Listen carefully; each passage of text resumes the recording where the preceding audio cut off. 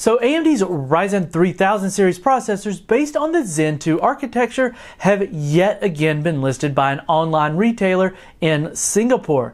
The retailer has not only listed down the upcoming processors, but also mentioned the prices of the processors which have yet to hit the market which if, and of course this is a big if, correct, could really disrupt the mainstream desktop segment yet again and would have proved me personally very wrong about my anticipated pricing of Ryzen 3000 series. From the looks of it, this is the second listing which features the same processors listed last time down by a Russian retailer back in January. The only difference is that now the processors are now listed with their prices, or should we say placeholder prices. As we mentioned last time, the specifications and CPU listings by the retailers seem to be a placeholder, but since we are seeing these being mentioned on various channels, there might be some legitimacy to it. Still, it's advised to take all of this with a canister of salt, and until AMD officially shares the specifications and part names of their upcoming Zen 2 based processor lineup, these are definitely in the leak category. Based on the Singaporean retailer listing via Tom's Hardware, it looks like AMD is allegedly going to offer at least 10 different Ryzen 3000 CPUs. Just like last time, we have the Ryzen 3, Ryzen 5, and Ryzen 7, and the now new Ryzen 9, which have been mentioned here. The Ryzen 9 parts are obviously a nod at Intel's Core i9 series, which were introduced back in 2018, and the mainstream LGA 1151 platform now features i9 processors. AMD, of course, wants to take on Intel's high core count mainstream processors with their own Zen 2 based high core count offerings with twice as many cores. AMD's Zen 2 architecture would deliver the first 7nm desktop processors, improving the chip architecture and increasing the IPC from the previous generation. AMD will also be adding in efficiency improvements to their new processors achieved through the new process node that allows for higher clock speeds. AMD's Ryzen 9 lineup would feature two parts the Ryzen 9 3850X and the Ryzen 9 3800X.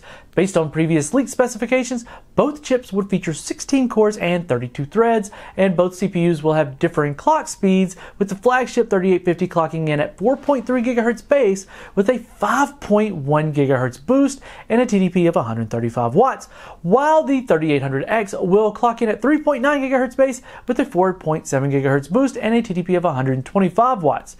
The Ryzen 9 3850X is listed for around 560 US, while the Ryzen 9 3800 is listed for around 505. Pretty phenomenal deal if this leads to be true.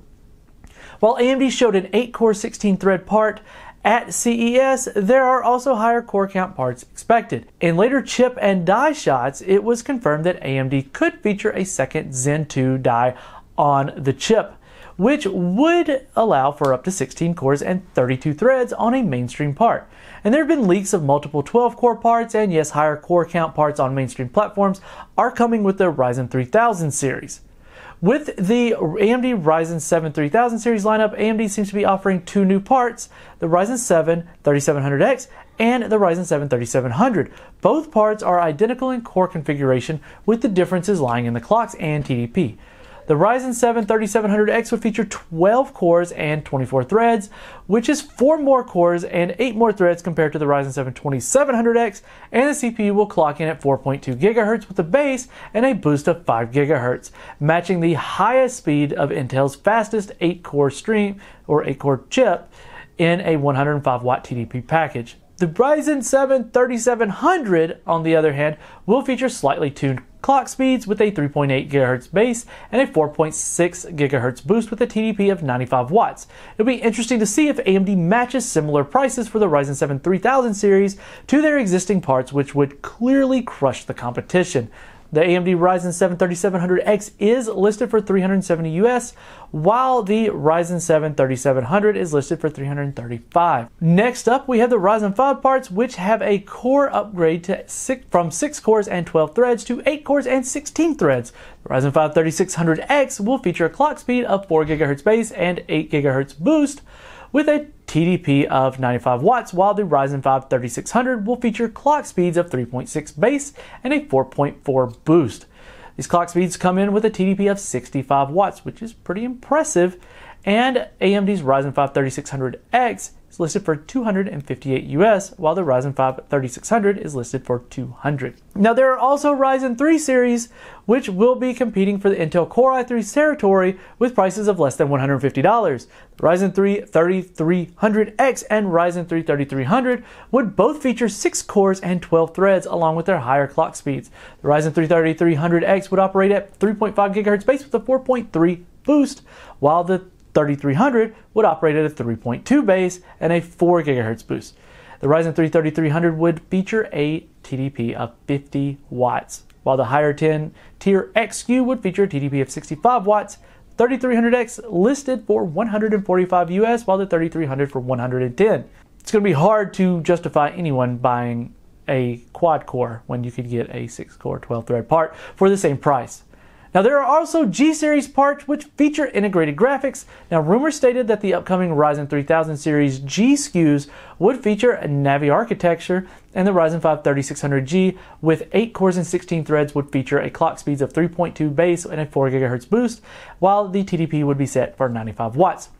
The processor would feature a Navi GPU with 20 CUs or 1280 cores, which would be interesting to see the placement on the dies. AMD could go with a single monolithic die for this part or use separate dies on an interposer which would include a separate Zen 2 IO die.